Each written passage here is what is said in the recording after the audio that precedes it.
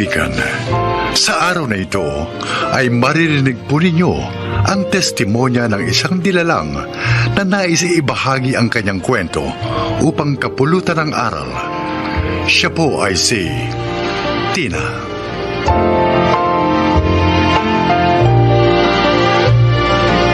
Magandang araw po. Nakakahiya mga sabihin. Sa beer house po ako nagtatrabaho. Nagbebenta ng aliw sa mga lalaki. Maaga po ako naulila sa mga magulang, kaya hindi na ako nakapag-high school. At tanging si Lolo Igme na lamang na nakilala ko sa kalye, ang tanging tumulong sa akin. Noong mga panahong kailangan ko ng tulong. Pakinggan po ninyo ang aking buhay.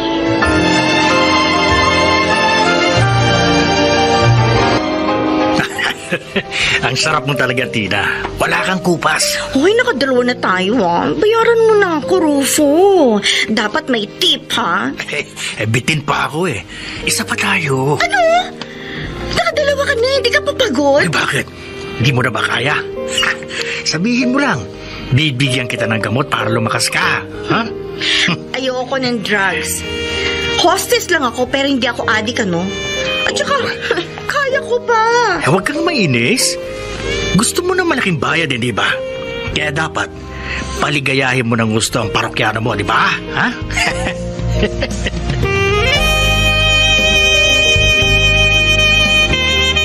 O, Tina. Mukhang masama pakiramdam mo ah. Hindi ka pa bumabangon dyan sa higaan mo. Ah, yung anak mo nga pala, napaliguan na ni Lolo Igme. Salamat naman. Masakit ang katawan ko, Joy. eh. Yung visit kasing Rufo na yun, pinagod ako. Nako! Tupang talaga sa sex ang lukulukong yun. Ay, malas mo lang. Ikaw na ang paborito niya ngayon. Eh, nagbigay naman ba ng malaki? Oo. Pero, alam mo, kulang pa yun sa sakit ng katawan na binigay niya sa akin. Sa mga pagbababoy niya. Kakasuka siya. Ano ba? Nag-iimot ka na naman dyan. Ilang taong ka na sa trabahong ito hanggang ngayon ba? Hindi ka pa rin sanay. Sanay na. Pero nangangarap pa rin ako, syempre, na makaalis sa putikang ito. At makalaya sa pambababoy ng mga lalaki. Paano? Eh, tulad ko rin, wala ka rin pinag-aralan. Oh, di ba? May anak ka pa na kailangan buhayin. At bukod doon, ikaw rin ang sumasagot sa mga gamot ni Lolo Igme.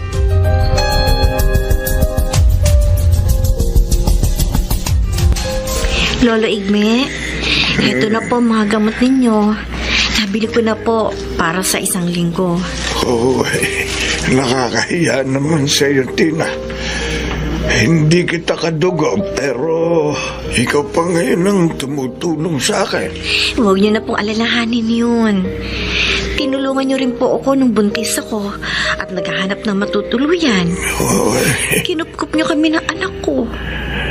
Kaya, ngayon naman po, hayaan yung gantihan ko ang inyong kabutihan.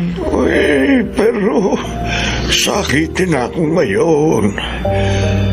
Pabigat na sa iyo.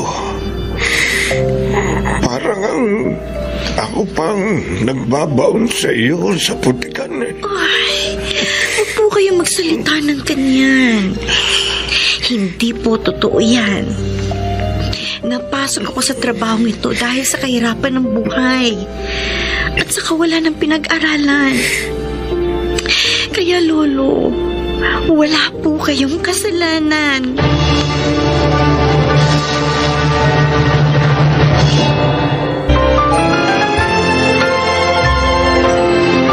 Balikan natin ang ating tampok na kasaysayan dito sa ating dulang. Ito ang aking buhay.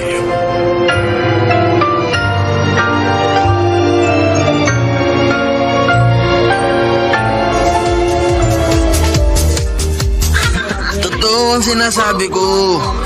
In love ako sa'yo. Baka naman binubola mo lang ako, Ramil. Tulad ng ibang lalaki nagpupunta dito.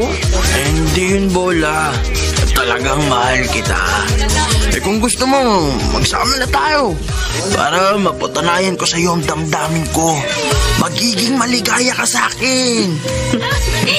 Talaga? Oo naman. At hindi ka na magtatrabaho. Ako na lang ang tatrabahuin mo.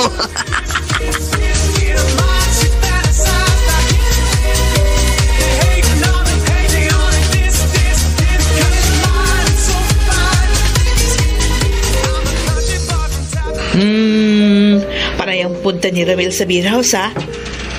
At lagi ding may regalo sa'yo. Binobola ko. Huh? Nililigawan ako kuno. Eh, sinasakyan ko nga lang mga pambobola niya. Bakit anong sinasabi niya? Kesyo, kung gusto ko raw magsama kami at liligaya daw ako sa kanya. Oh, eh ano naman sinagot mo? Ano naman yung nararamdaman mo? Hmm? Naiinis ako. Pero hindi ko pinahahalata sa kanya. Alam ko naman na gusto lang niya akong gamitin ng libre, no? Ano at pagkatapos magiging tagabuhay niya? Mabuti naman. At hindi ka nadadala doon sa mga matatamis niyang salita. Joy, Joy. Tama na ang minsan panloloko sa akin ng isang lalaki. Hindi na mauulit yun.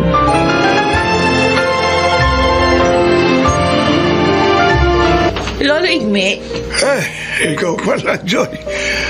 Eh, gusto mo na bang kumain? Handa na itong pagkain na. nasaan no si Tina?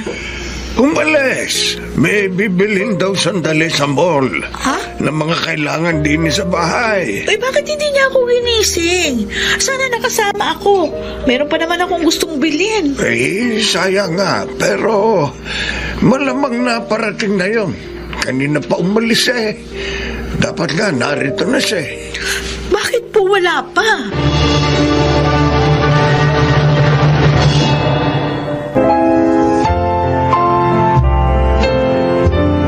Balikan natin ang ating tampok na kasaysayan dito sa ating dulang. Ito ang aking buhay.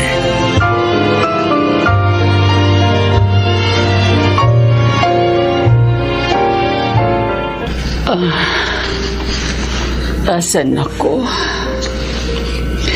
Ma'am, narito po kayo sa isang klinik. Clinic? Opo. Ah, Ako nga po pala si Tina.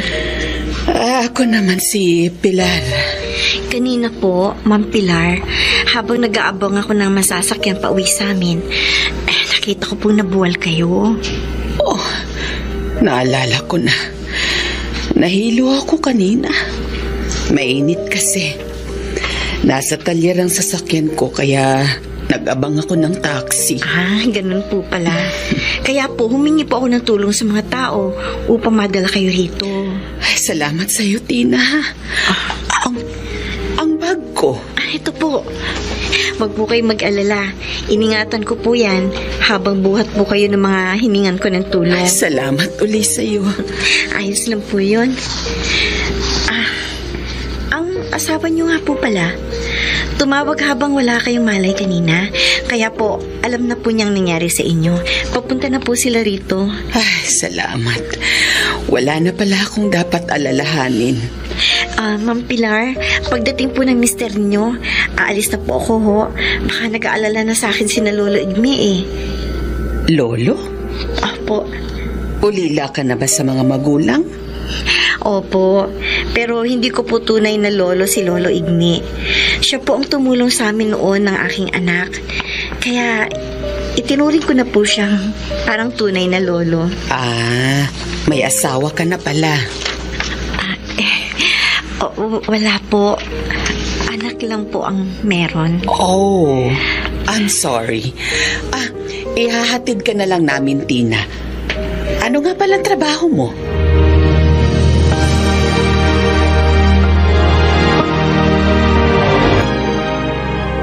Yun pala ang dahilan. Kaya ngayon ka lang nakauwi. Oo, Joy. Hmm, sila ba yung sakay nung magarang kotse na nagkatid sa'yo? Oo. Alam mo, ang bait nilang mag-asawa. Alam ba nila trabaho mo? Oo, pinagtapat ko. Nakakatuwa naman itong kaibigan ko. Matulungin na. Honest pa. Alam mo namang hindi ko ugaling magtahi-tahi ng kwento, di ba? Sabi nga pala ni Mang Pilar, magkikita raw kami uli. Bakit daw? Ewan ko, hindi naman niya sinabi kung bakit.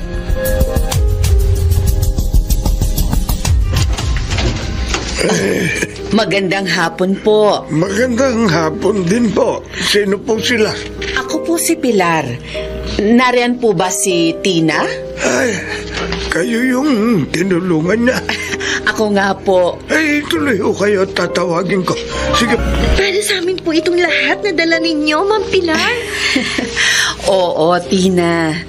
Yung groceries para magamit nyo. Ito namang iba, mga produktong ititinda mo online. Di ba sabi mo sa akin, gusto mong iwan na ang trabaho mo sa beer house? Opo. Kaya naisip kong bigyan ka ng mapagkakakitaan. Kami na rin na magpapagamot kay Lolo Igme para wala ka ng problema. Naku. Salamat po, Mang Pilar. At hindi lang yan. Mm, eto, kunin mo. Malaking halaga po yan. Gamitin mo ito upang may panggastos kayo. At ang iba, eh tabi mo. Salamat po. Salamat po na marami, Mang Pilar. Mabait ka, Tina. At mabuti ang iyong puso. Kaya naman gusto kitang tulungan. Ngayon po, makakaalis na ako sa butikang kinalalagyan ko. At makakalaya na rin ako sa pambababay ng mga lalaki.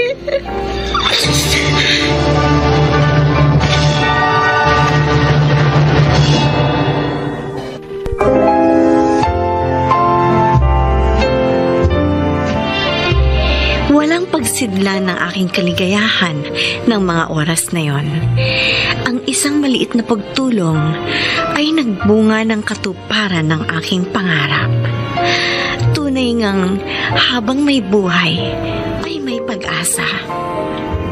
Sana po kinapulutan ninyo ng aral ang aking inilahad. Ako po si Tina at ito ang aking buhay.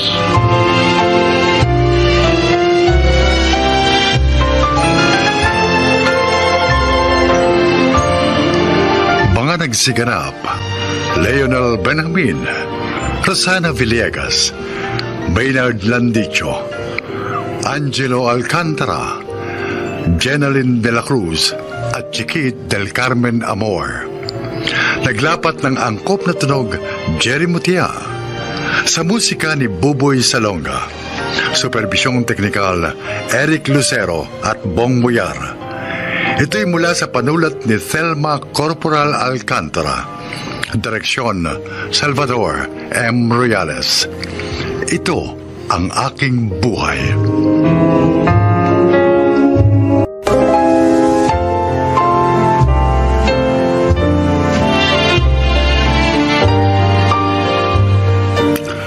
Mga kaibigan, sa araw na ito, isang lalaking nagbahagi ng kwento ng kanyang buhay upang kapulutan ng aral. Siya ay si Victor.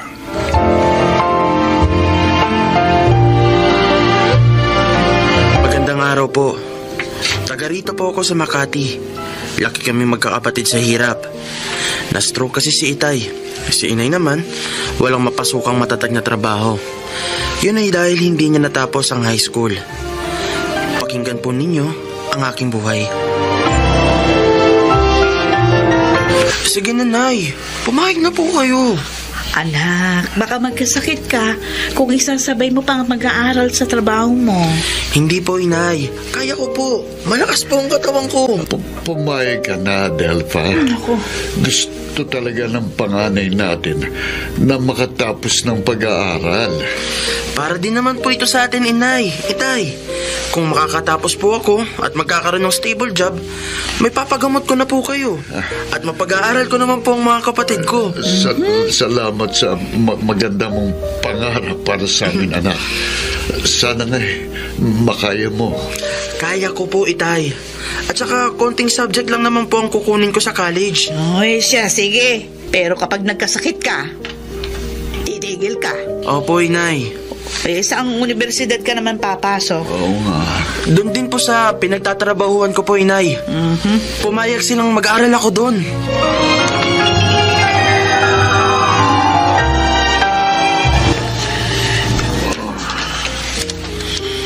Dahil pa, hating gabi na. Bakit hindi ka pa natutulog? Ay, naiisip ko lang yung ating mga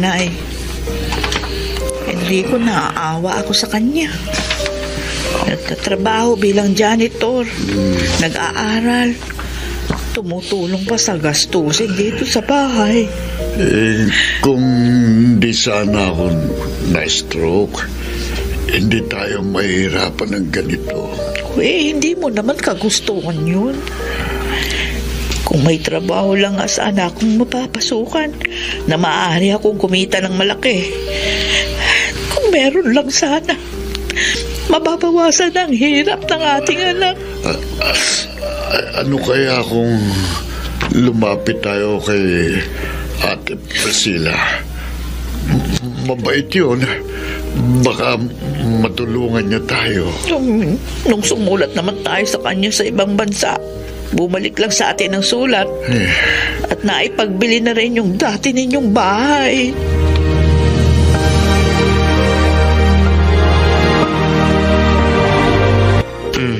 Naintindihan mo na yung explanation ko, Rachel? Oo, Victor. Ang galing mo pala sa math. Thank you sa pagtuturo mo sa akin, ha? Uy! Si janitor nag-aaral. Ay, ikaw pala, Jomar. Nag-review kami para sa exam bukas, Jomar. At saka pwede ba? Tawagin mo naman siya sa pangalan niya. Uy, bakit? Talaga naman janitor siya rito. ah.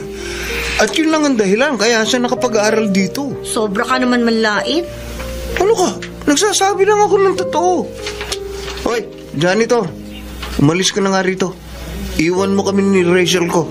Anong Rachel mo? Hoy, hindi kita boyfriend, ha? Bakit? Mm, sige, Rachel. Oras na ng trabaho ko eh. Sige, Jomar. Huwag ka na mangarap na makakaahon pa sa pagiging janitor. Hanggang dyan ka na lang.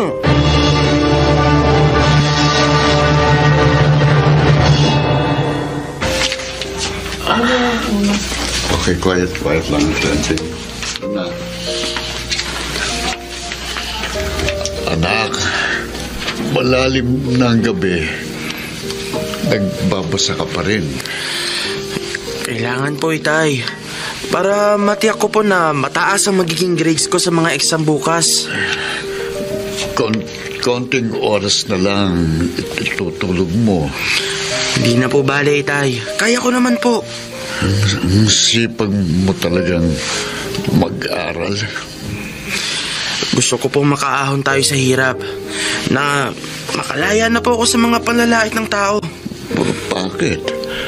May umahamak ba s- sa'yo? Hindi naman po may iwasan yun.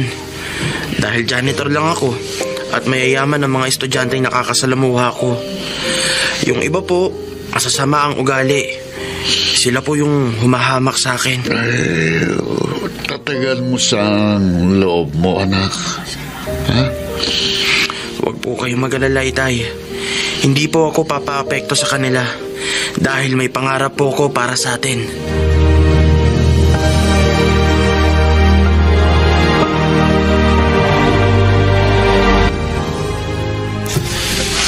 Ay, salamat.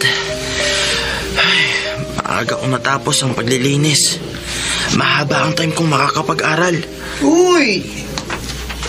Janitor, Ah, ang linis na dito sa koridor ah. ah, oo, Jomar.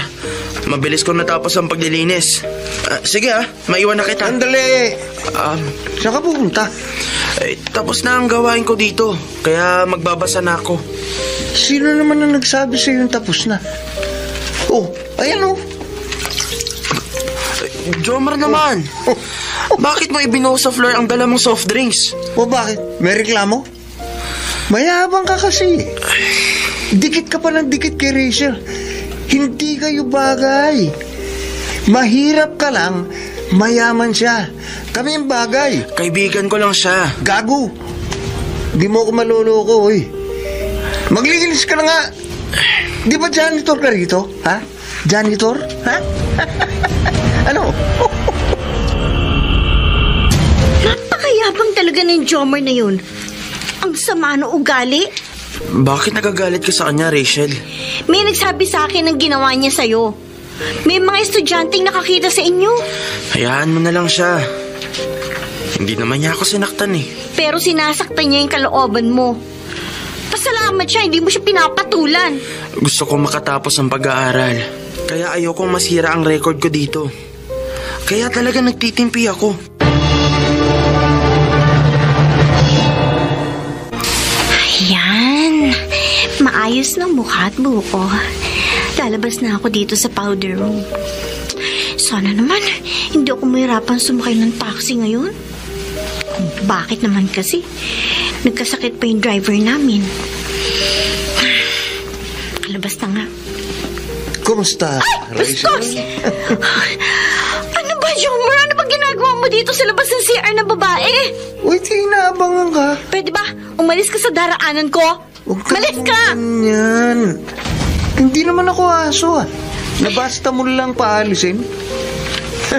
Alalahanin mo, tayong dalawa lang na dito dahil umuwi na maraming estudyante. Kaya magagawa ko lahat ng gusto ko sa iyo. Bastos ka talaga, no? Ikaw, kanina mo pa ako tinatawag ng ganyan. Pwes, patutunayan ko sa iyo ang kabastusan ko. Alik! Ay! Ay! Jomer!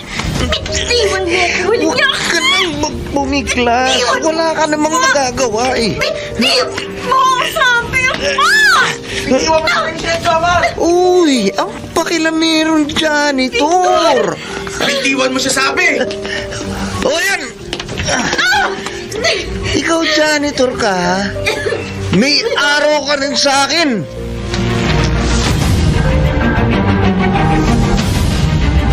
Walang iha talagang Joma na yon. Hindi na natakot. Kahit sa university, pinagtangka kang gawa ng masama. Kala niya kasi wala nang maaaring tumulong sa akin. Mabuti na lang andun itong si Victor. Ah, ang binatang ito pala nagligtas sa iyo, anak. Yes, Mommy. Ah, Victor, maraming salamat sa iyo, ha? Anong family name mo, iyo? Enriquez po, ma'am. Victor Enriquez po. Ay, iyan ang apelyido ko nang dalaga pa ako. Ay, ko napansin. Enriquez nga pala ang apelido mo, Victor, pagka nagro-roll call sa klase. Magkaklase ba kayo sa lahat ng subjects? Ay, hindi po, Mami. Sa math ko lang naman po kasi siya classmate eh. At hindi rin po namin napag-uusapan ng family name ko. Masaya akong malaman na isang mabait na binata ang kapilyido ko. ano nga pala pangalan ng parents mo? Um, Enrico po at Adelfa. Enrico? Adelpa? Oh, Mami.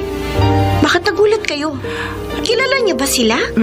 Victor, ang tatay mo ba ay matangkad? May balat sa kanang balikat? Gwapo at matangos ang ilong? Ba- bakit alam niyo po ang itsura ni Itay? Kung ganon, ang tatay mo. Ang kapatid kong matagal ko nang hinahanap. Mami?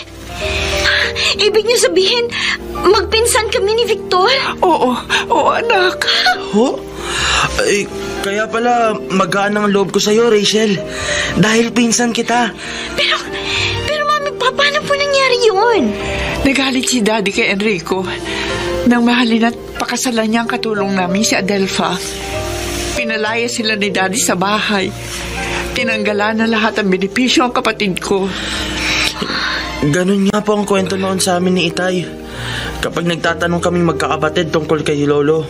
Victor, gusto ko makita ang tatay mo. Sabik na ako makita ang kapatid ko. Matagal na po siyang na-stroke at nasa bahay lang po. Kawawa naman ang kapatid ko. Kami lang po ni Inay ang nagtatrabaho.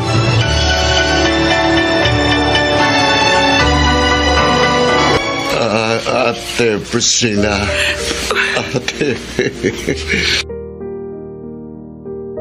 Enrico. Kapatid ko. Ang tagal ka namin hinanap ni Daddy.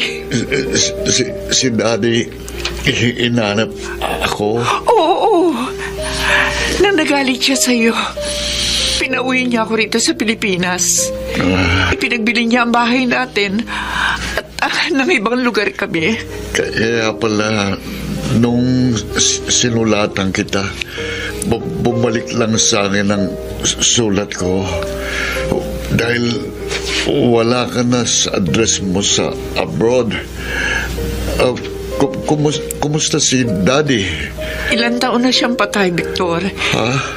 Pero pinagsisihan niya na ang kanyang ginawa sa'yo. Kaya nga pinahanap ka niya eh. Si Daddy? Pa- pa- patay na? Oo, Sayang, hindi na po pala namin makikita ang lolo namin. hindi bale. Ngayon nakita ko na kayo. Tutuparin ko ang pangako ko kay Daddy. Isasama ko na kayo sa bahay. Ah, ah. Ipagagamot kita, Enrico. Ate. Upang muli kang makalakad. Sa- sa- salamat. Sa- salamat, Ate, Ate Priscilla. At kayo naman ang mga kapatid mo, Victor. Makapag-aaral na kayo ng maayos. Lubos ngang natupad ang aking mga pangarap. Nakaahon kami sa hirap at nakalaya ako sa pangnalait ng mga tao. Salamat sa Diyos. Salamat sa trabahong ibinigay niya sa akin. Ako si Victor, dating janitor. At ito ang aking buhay. Mga nagsiganap, Phil Cruz, Rosana Villegas, Angelo Alcantara, Chiquit del Carmen Amor, Susan Robles, Leonel Benjamin.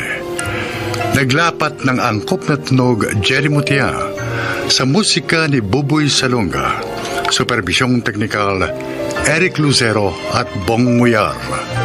Creative Consultant Phil Cruz. Production Assistant Anching Cruz. Ito'y mula sa panulat ni Thelma Corporal Alcantara. Direksyon Salvador M. Royanas. Ito ang aking buhay.